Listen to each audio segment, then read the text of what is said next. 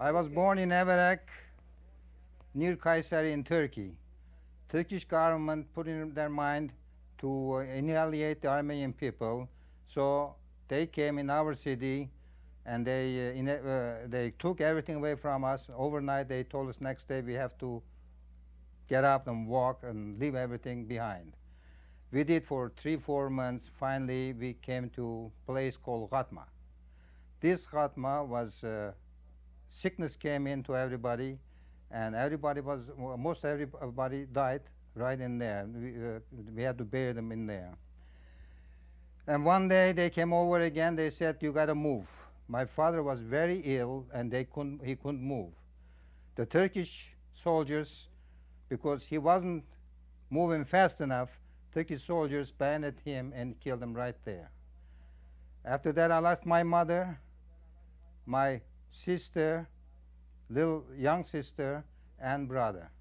Only we had, we left myself and my uh, older sister. My sister was sick and I was sick too. I had dysentery. So one day they came over and they wanted to send us to Deir where they were killing everybody. We heard about it. While the, in that, uh, I asked for little water. My sister went over to get water for me.